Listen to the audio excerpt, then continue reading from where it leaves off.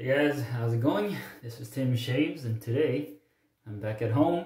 Um, yeah, it's been it's a couple days. Uh, it's been good to be back, uh, sleeping in my own bed, and uh, but I've I've thoroughly enjoyed the trip and had some great shaves over there. But for today, I'm not I'm not gonna be shaving. I already shaved last night, so uh, barely have any growth.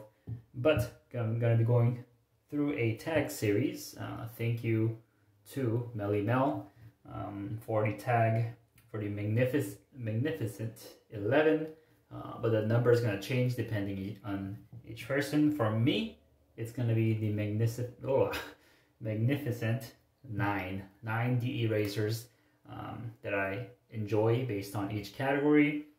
I got I got it down to nine categories, so let's start with the first one.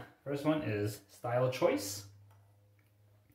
And based on style alone, I picked this uh, Gillette Tech with a Charcoal Goods maze handle. I believe this is a level 3 maze handle. Um, I don't think it's made anymore, but it's got a wicked engravings in it. Kind of reminds me of like a bee honeycomb or something that like dwarves would made make. But it's just a regular Gillette Tech head on this nice stylish handle. As for the second category, budget-friendly choice, I have to go with this. I've used this uh, a lot the last two weeks. And this is the Maggard V3A head with a MR1 uh, razor handle. This one shaves really nicely. It's got good amount of blade feel to it, efficient, um, pretty smooth, and only I think the head only costs like eight bucks. The handle maybe 12. Um, so you could probably get this for around 20 bucks. Very nice, affordable option. It is Zamac, but it's not bad for the price. for the third one, underappreciated choice. And for that, I'm going to be going with the Parker, what am I pronouncing it wrong? Parker Semi-Slant. And this cat, it has a slight slant to it, but it's actually it looks a bit more aggressive than it uh, looks.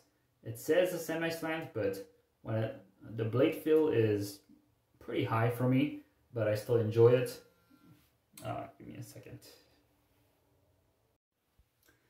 All right, I'm back. Sorry about that. I had to take a phone call, but um, category was underappreciated choice. The Parker semi-slant, excellent shaver. Uh, I do enjoy it a lot. And I don't see it a lot in uh, videos or SOTDs, so this one's uh, underappreciated in my opinion. Next choice, premium choice, the fourth one, I have to go with the Stirling razor. It's quite a pricey razor, but it's I think it's justified with the packaging, with the nice leather case, uh, with the beautifully made crafted um, handle, and the way it shaves is really smooth for me. It's got a ton of blade feel. This is the uh, hyper uh, efficiency or hyper, hyper aggressive plate. I really love this razor. As soon as I got back home, I had to shave with this one because I just missed the the feel of it. So premium razor, it's gonna be with the Stirling stainless steel. Next one up, sentimental choice, and that is the Gillette Slim Twist. Now this one uh, it was inspired by Paul H. Films. Uh, he has a white uh, Gillette Slim Twist that uh, he that his dad used, and that is a very sentimental choice for him. But this one is one of the earlier vintages that I picked up. It's super smooth, it's mild, uh, like a very easy shaver, and I just fell in love with vintages, um, starting with this razor. So, excellent choice. These days, I'm digging a bit more blade feel, so this one's not my favorite, but um, it was one of my uh, earlier loves for uh, vintage razors. So Gillette Slim Twist. Next one up, classic choice. And this one is going to be another vintage. This is the Gillette Old Type. It's got a Wade & Butcher handle on it. It's pretty old. And there is some engravings on the bottom here of the plate. I don't know if you can see it, but it says property of U.S. Army. So I think this is a uh, U.S. Army is issued safety razor. Shaves great. It's um, it's got a good bit of blade feel on it, uh, even though it has this flat head profile. It's a great shaver. Um, I always enjoy it whenever I go back to this one. It's a classic choice for me. Next one up, a daily driver, and that's gonna be the RazoRock Game Changer 0.84. This one, uh, it doesn't feel that aggressive to me now. Uh, I think when I first tried it out, it was a bit on the aggressive side, but keep on uh, just a continual use of it and using other aggressive razors, uh, this one feels medium aggression aggressive now. It's a great uh, daily driver for me. Very smooth, efficient. Um, it's not too efficient where um, it's not too efficient like the Stirling razor, but it does the job well, and I could buff a bit with it without getting too much irritation. So Game Changer 0.84, one of my favorites. Next one up, Autopilot razor, that is going to be the Rockwell 6C. This is a gunmetal finish. Uh, Rockwell 6C and 6S, these razors are so smooth, very comfortable to use. Um, and you can just go on autopilot with it.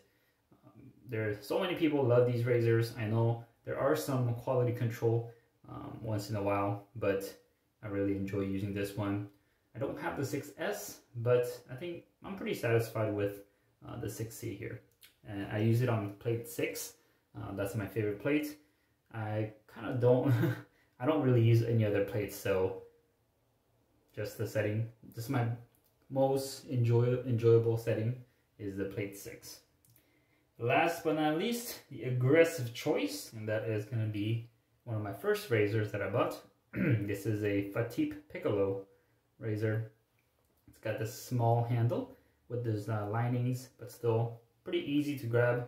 It's got some grip to it.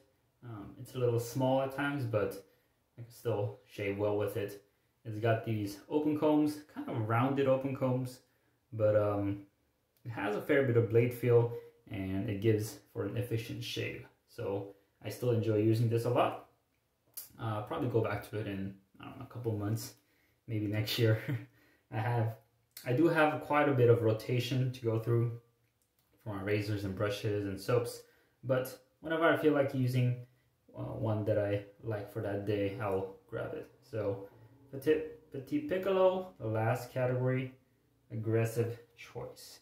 So that is my magnificent, I still can't pronounce it, magnificent nine razors. Um, hope you guys enjoyed it. Let me know what are some of your favorite razors based on the categories below. And I haven't I haven't checked out a lot of the videos of people doing this. I know quite a bit of people did. Uh, quite a bit of the shavers put out this video, but I've been kind of behind because of the trip.